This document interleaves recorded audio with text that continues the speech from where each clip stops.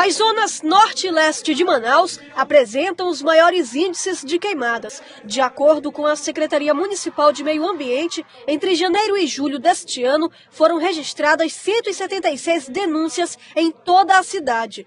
Para tentar reduzir o problema, estudantes do ensino fundamental da Escola Municipal Francisco Nunes, no bairro Puraquequara, da comunidade Bela Vista, tiveram uma manhã de conscientização sobre o assunto. Quanto mais cedo quanto mais tenra a idade, nós sensibilizarmos as crianças, educarmos as crianças, melhores condições nós teremos para o meio ambiente no futuro. Então, essa escola, devido a ser um bairro onde tem muitas queimadas próximas à escola, e as crianças às vezes não entendem muito bem essa relação de fogo, elas já não têm idade para isso, mas nós devemos trazer de forma dinâmica, de forma lúdica, um videozinho onde eles possam sensibilizar, chegar até em casa, conversar com os pais. E a gente observa até na vizinhança mais próximas, as casas mais próximas, que casas que antigamente se faziam isso e hoje em dia a gente já vê o pessoal juntando. Palestras, vídeos e panfletos educativos foram distribuídos aos alunos, depois de ouvir todas as informações sobre os cuidados e os riscos que a queimada pode causar ao ao meio ambiente,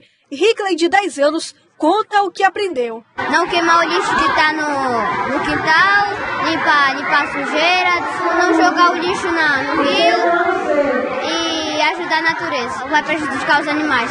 A estudante Liliana Costa também pretende repassar o aprendizado à família. Quando a mamãe for queimar, que, é, ontem ela ia queimar, mas só que eu falei, mãe, não queima. Que eu aprendi que não é pra queimar, sim, senão vai poluir o bairro, né? A campanha de combate às queimadas faz parte do projeto da Oca do Conhecimento Ambiental. Queimar é crime e pode ser denunciado por meio do 0800 092 200. Eles podem é, colocar o lixo no saco na hora correta, porque também existe a questão de colocar o lixo na hora errada.